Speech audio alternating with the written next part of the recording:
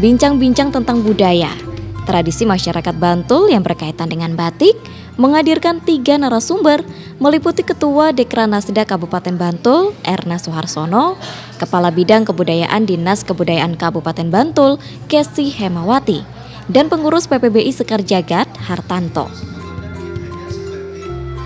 Kepala Bidang Kebudayaan Dinas Kebudayaan Kabupaten Bantul, Kesi Hemawati, dalam bincang-bincang tersebut memaparkan tentang upacara adat dan seni tradisi di Kabupaten Bantul. Salah satu upacara adat yang masih dilestarikan masyarakat Bantul hingga saat ini di antaranya upacara wiwitan.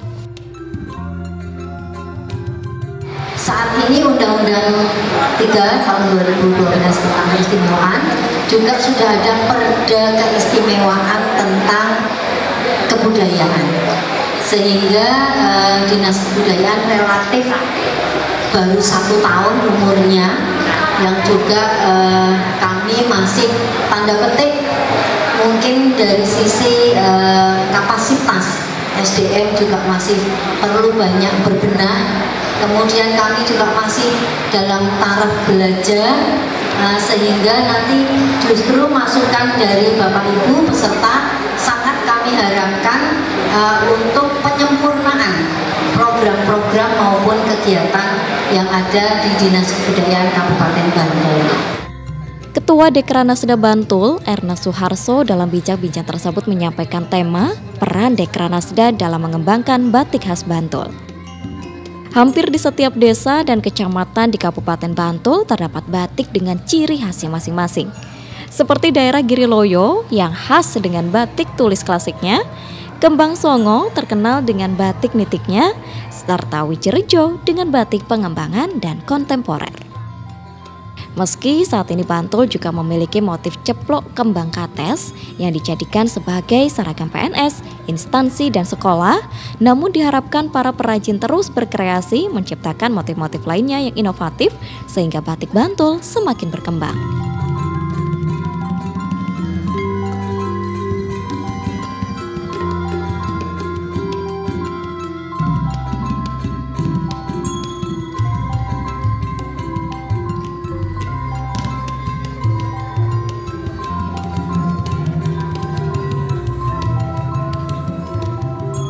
Di Kabupaten Bantul ini hampir setiap kecamatan dan desa itu ada pengrajin batik ini dan mereka mempunyai motif-motif dan mempunyai ciri khas sendiri-sendiri setiap kecamatan dan desa. E, contohnya saja di batik di Giriloyo itu kebanyakan misalnya batik tulis dan batik yang klasik-klasik yang mempunyai uh, filosofi atau yang apa ya istilahnya batik-batik pakem itu di sana itu pusatnya di sana di Bajang uh, di Wijirejo itu sudah banyak pengembangannya dan uh, banyak inovasi dan kreatifnya sudah dikembangkan motif-motif batiknya. Kebetulan di Kabupaten Bantul ini mungkin uh, punya satu batik yaitu uh, ceplok kembang kates. Jadi ceplok kembang kates. Dan mungkin seperti di daerah lain di Pulau Progo maupun Sleman uh, di sana juga punya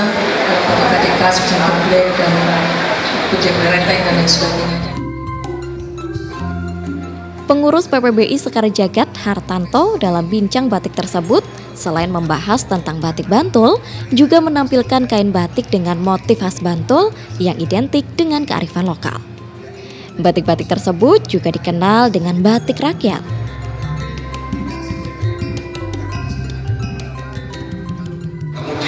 Kita akan juga berbicara mengenai pemetaan khas ciri khas batik yang ada di Kabupaten Bantul.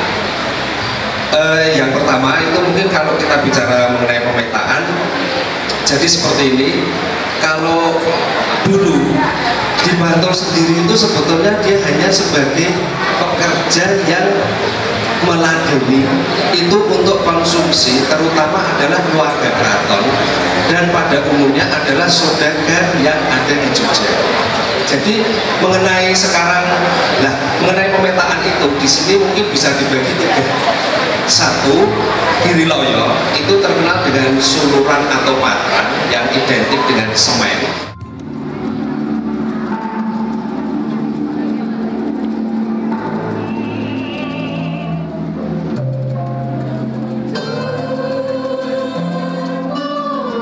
Berkaitan dengan upacara adat dan sendi tradisi yang ada di Kabupaten Bantul. Dalam acara tersebut ditampilkan tarian yang menceritakan tentang upacara wibitan Dewi Sri. Tarian ini diawali dengan prosesi tanam padi oleh para petani. Upacara wiwitan merupakan upacara yang dilakukan oleh petani untuk mengawali panen raya padi. Upacara ini sebagai ungkapan syukur atas panen yang berlimpah dan rezeki untuk yang akan datang. Dalam pementasan tersebut juga ditampilkan sosok Dewi Sri atau Dewi Kesuburan. Dalam tarian tersebut dilengkapi dengan sesaji serta ada juga yang berperan sebagai tetua kampung atau mbah kaum yang bertugas memimpin doa. Setelah doa, dilanjutkan pemotongan batang padi yang pertama sebagai tanda proses panen padi bisa segera dimulai. Selain itu, dalam upacara wiwitan juga ada prosesi makan bersama. Ubur rampe berupa nasi tumpeng, urap, pelas, telur, tempe, tahu, ikan asin dan peyek dibagi-bagikan dalam bungkus daun pisang atau daun jati.